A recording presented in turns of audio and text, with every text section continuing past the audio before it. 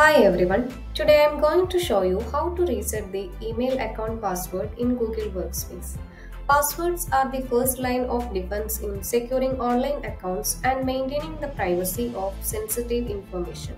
As a Google Workspace administrator, it's crucial to understand how to reset passwords for your users when the need arises. In this video, we will guide you through the process of resetting passwords in the Google Workspace admin console, ensuring a smooth and secure experience for both you and your users. So first you need to access your Google Workspace admin console. You can log into your Google Workspace admin console using your administrator username and password.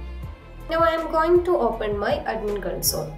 You can simply open your admin console using this URL admin.google.com.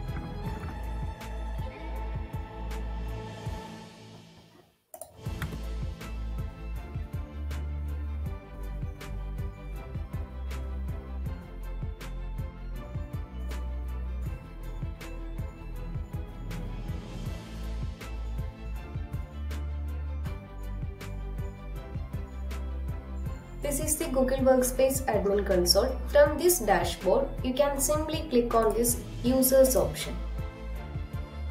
Now you can locate the user whose password you want to reset and click on their name to access their account details.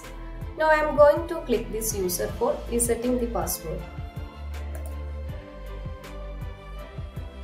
There is one reset password option is available.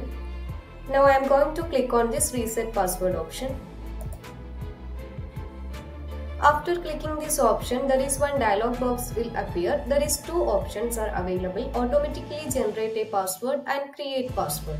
You can simply generate a password and otherwise you can create a password on your choice.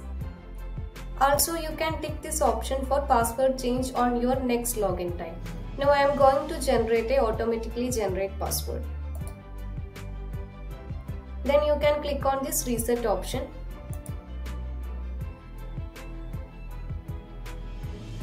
Now the password has been changed. You can copy this password and save it for your future use. This is the process for generating a new password.